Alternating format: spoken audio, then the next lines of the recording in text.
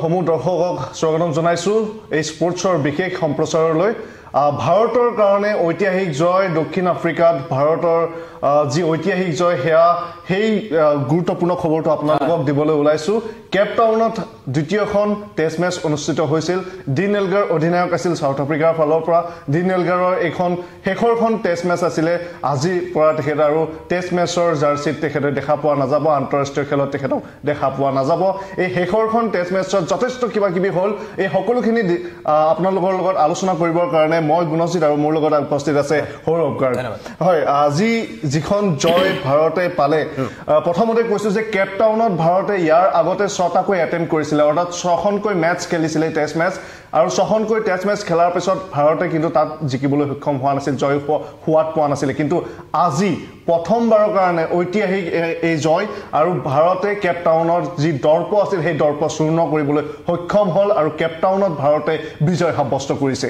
ক'ৰবাত নহয় ক'ৰবাত দুহেজাৰ তেইছ চনৰ আৰম্ভ দুহেজাৰ চৌবিছৰ আৰম্ভণিত তেইছৰ যিখিনি পাহৰিবলগীয়া আছিল টিম ইণ্ডিয়াৰ সেইখিনি পাহৰি এটা নতুন যাত্ৰা হয়তো আৰম্ভ হৈছে। আৰু কৈছো যে কেপটাউনত মাত্ৰ দুদিনত দুটা ছেছনত আঢ়ৈ দিন খেল চলিলে। আৰু টিম ইণ্ডিয়াৰ সন্মুখত আছিল ঊনআশী ৰানৰ এটা সৰু টাৰ্গেট যিটো টাৰ্গেটৰ কাৰণে গৈও কিন্তু তিনিটা উইকেট হেৰুৱাব লগা হৈছিল। তাৰ পৰাই বুজা যায় যে পিচখন কেনেকুৱা আছিল।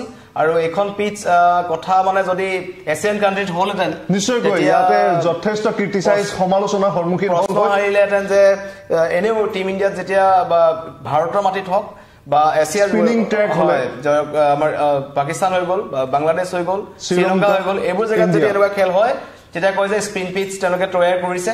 আঢ়ৈ দিনতে খেল খতম হৈ যায়। খেল শেষ খুব কমে হৈছে ইয়াত হোৱাৰ খুব নজিৰ কম। কিন্তু এইখন খেল যিধৰণে খতম শেষ হৈ গ'ল দুদিনতে খেল ডেৰ দিন ডেৰ দিনত খেল ডেৰ দিনত খেল শেষ হৈছে।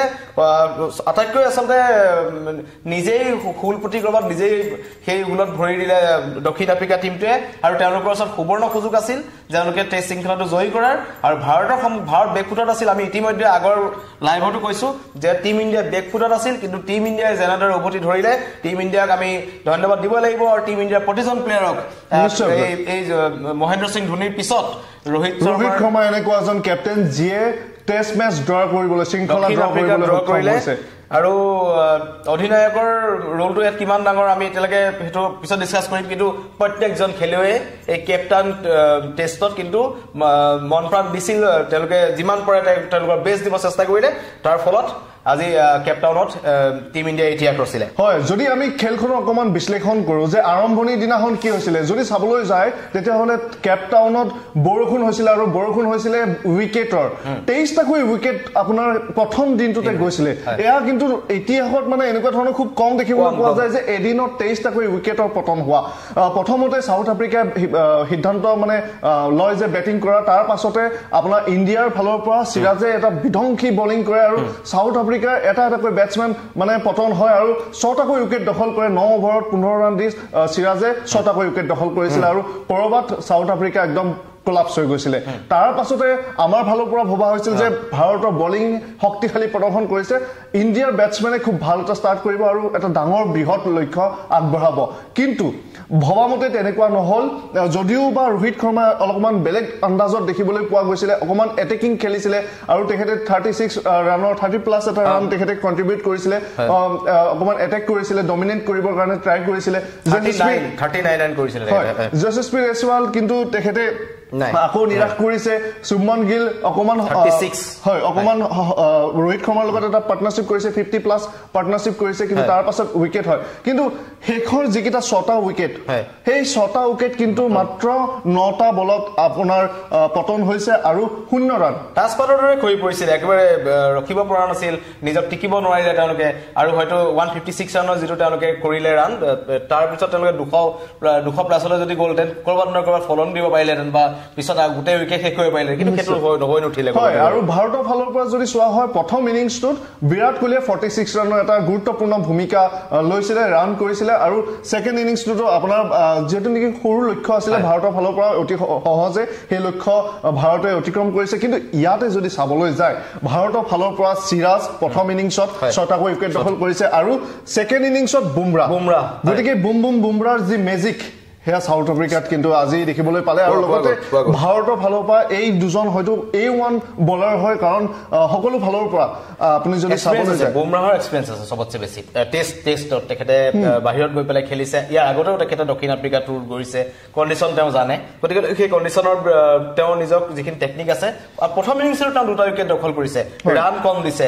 কিন্তু যিহেতু এক প্ৰকাৰ প্ৰেচাৰ মেইনটেইন কৰি ৰাখিছে। আৰু আজি তেখেতে ছটাকৈ উইকেট দখল কৰিছে। কেৰিয়াৰৰ এচিভমেণ্ট এটাও হয়। যে আহ, আহ, ভাৰতৰ হয়। চাউ চাব কণ্টিনেণ্টৰ পৰা বাহিৰত গৈ পেলাই এই ধৰণৰ প্ৰদৰ্শন কৰিলে মানসিকভাৱে যথেষ্ট সবল হয় আৰু লগতে এটা কেৰিয়াৰৰ তেখেতৰ দিশ দিশৰ ক্ষেত্ৰতে এটা নতুন মাত্ৰা পোৱা যায় টেষ্ট ক্ৰিকেটত যদি আপুনি এনেকুৱা ধৰণৰ প্ৰদৰ্শন কৰিব পাৰে তাকো বুমৰাহ ৱৰ্ল্ড কাপৰ আগত তেখেতে ইঞ্জুৰিৰ পৰা ঘূৰি আহিছে গতিকে আহি তেখেতে নতুন বছৰটোত নতুন উদ্যমেৰে খেলিবলৈ হয়তো পাব কাৰণ আই পি এল আহি আছে নিশ্চয়। আৰু কেইবাকেইখনো গুৰুত্বপূৰ্ণ চিৰিজ আছে টিম ইণ্ডিয়াত তাতকে ডাঙৰ কথাটো এই T20 আহি বছৰ আছে। টি টুৱেণ্টি ৱৰ্ল্ড কাপ আছে যিটো জুলাই মাহ জুন মাহৰ মাহৰ পৰা আপোনাৰ ইয়াৰ। আধা সংখ্যক টিম খেলুৱৈ কিন্তু তাত খেলিব নিশ্চয়। T20 গতিকে তেওঁলোকৰ এক্সপিৰিয়েঞ্চ যিটো কণ্ডিশ্যনত বাহিৰত খেলাৰ তেওঁলোকৰ যেতিয়া এক্সপিৰিয়েঞ্চ থাকিব তেওঁলোকে নিজে ডাঙৰ ডাঙৰ টিমৰ বিৰুদ্ধে জিকিব তেওঁলোকে গৈ পেলাই সেইখিনি তেওঁলোকৰ এক্সপিৰিয়েঞ্চখিনি ৱৰ্ল্ড কাপতো তেওঁলোকে গৈ পেলাই লগতে আৰু এটা কথা যে দুহেজাৰ চৌবিশত কৰবাত সেই যে ভাৰতৰ কেপ টাউনত নিজিকা নজিৰ আছিলে।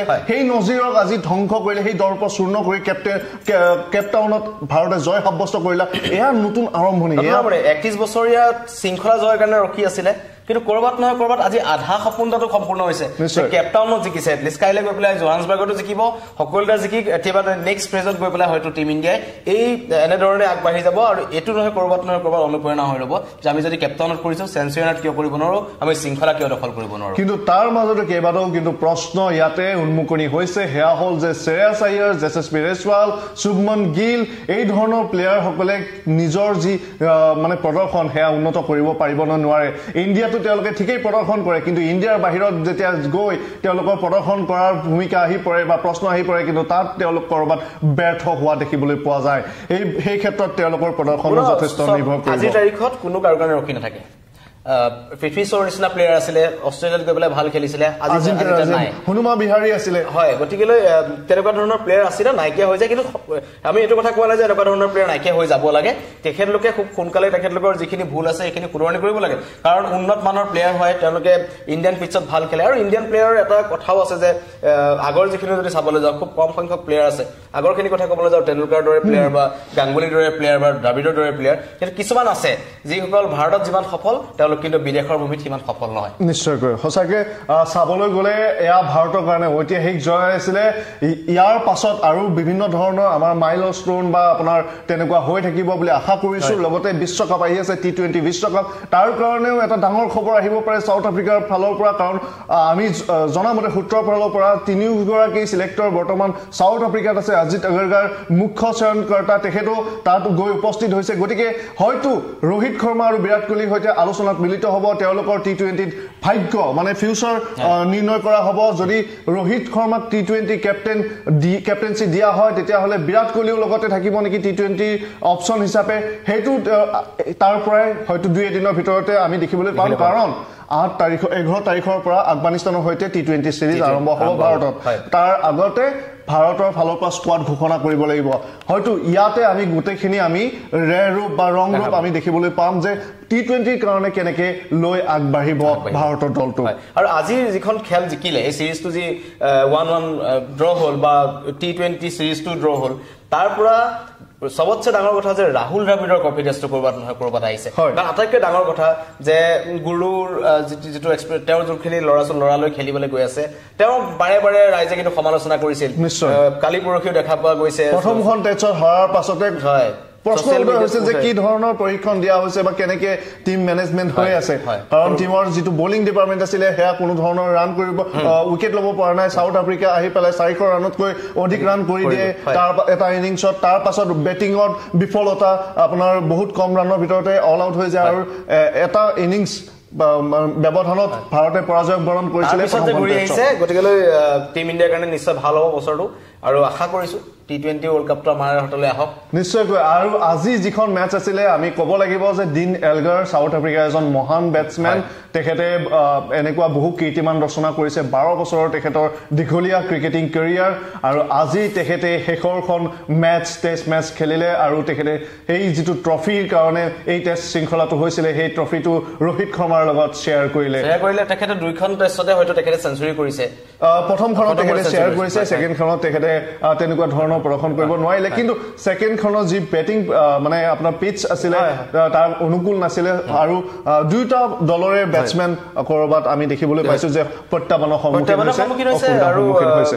কণ্ডিশ্যনে তেনেকুৱা আছিলে আচলতে। মই ইতিমধ্যে কৈছো তেওঁলোকে যি ভাবি বেলেগৰ কাৰণে কৰিছিলে নিজে পোতা ফুলত তেখেতলোকে নিজে ভৰি দিলে। আজি হয়তো অন্য এনেকুৱা ধৰণৰ পিচ নহ'লে ক'ৰবাত নহয় ক'ৰবাত হয়তো তেওঁলোকে ৰান কৰিব পাৰিলেহেঁতেন। কিন্তু আজি যি হ'ল বা যেনেধৰণে টীম ইণ্ডিয়াৰ বলাৰৰ শলাগ ল'বলগীয়া প্ৰদৰ্শন আহ, ক'ৰবাত নহয় ক'ৰবাত কিন্তু কেপটাউনত ধৰাশায়ী হৈ গ'ল।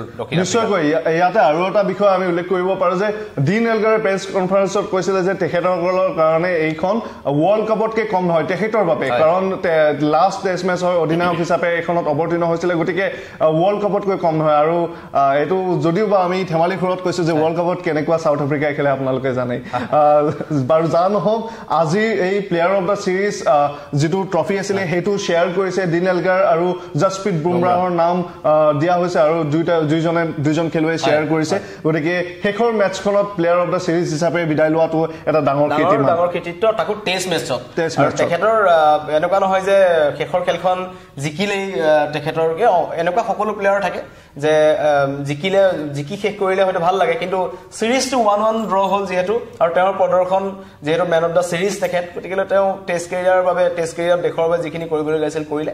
আৰু খেলত থাকে অৰাজিকা থাকে গতিকে মহান খেলুৱৈ তেওঁৰ ৰিটায়াৰমেণ্টে দক্ষিণ আফ্ৰিকাৰ টীমটোক যথেষ্ট যথেষ্ট অৱদান আগবঢ়াইছে। দক্ষিণ আফ্ৰিকাৰ টীমটোলৈ আৰু লগতে আমি যদি চাবলৈ যাওঁ টীম ইণ্ডিয়াৰ ফালৰ পৰাও খুব ধুনীয়া জেষ্টাৰ তেখেতক দিয়া হৈছে। তেখেতৰ বিদায় যিখন টেষ্ট আছিলে তাত শেষৰটো ইনিংছত তেখেতক মানে অভিবাদন জনোৱা হৈছে যে তেখেতে যি ধৰণৰ ক্ৰিকেট বিশ্ব ক্ৰিকেটক দিলে এই সময় সুদীৰ্ঘ বাৰ বছৰৰ সময় তাৰ কাৰণে থেংক ইউ জনাইছে আৰু খুব এটা ভাল জেষ্টাৰো দেখিবলৈ পোৱা গৈছে। এটা বণ্ডিং আছে আমাৰ ইণ্ডিয়াৰ প্লেয়াৰ আৰু চাউথ আফ্ৰিকাৰ প্লেয়াৰৰ লগত তেনেকুৱা ধৰণৰ এটা বণ্ডিং আছে যিটো আমি ফিল্ডতো দেখিবলৈ পালোঁ। গতিকে এইখিনি আছিলে এই মুহূৰ্তৰ খবৰ যে ভাৰতৰ কাৰণে ঐতিহাসিক জয় কেপ্টেইনত য'ত কেপটাউনত য'ত আপোনাৰ ভাৰতে কোনোবাৰে মানে জয়ী সোৱাদ ল'ব পৰা নাছিলে ছবাৰকৈ চেষ্টা কৰিছিলে ছখনকৈ টেষ্ট মেচ খেলিছিলে শূন্য ৰিজাল্ট আছিলে পৰাজয় প্ৰতিবাৰে কৰিছিলে কিন্তু এইবাৰ ৰোহিত শৰ্মাৰ নেতৃত্বত কেপটাউনত ভাৰতে জয় সাব্যস্ত কৰিবলৈ সক্ষম হ'ল। ভাৰতৰ যি শৃংখলা আছিল দুখন টেষ্ট মেচৰ শৃংখলা তাত ভাৰতে ড্ৰ কৰিবলৈ সক্ষম হ'ল। গতিকে দিন এলগাৰৰ বিদায় এই টেষ্ট মেচ আৰু লগতে ৰোহিত শৰ্মাৰ কাৰণে এটা ডাঙৰ এচিভমেণ্ট। কাৰণ তেখেতে চাউথ আফ্ৰিকাত গৈ পেলাই এটা টেষ্ট শৃংখলা ড্ৰ কৰিবলৈ সক্ষম হৈছে। এই মুহূৰ্তত এইখিনি আছিলে খেলৰ খবৰ। চাই থাকিব News Eighteen Assam North East ধন্যবাদ। ধন্যবাদ।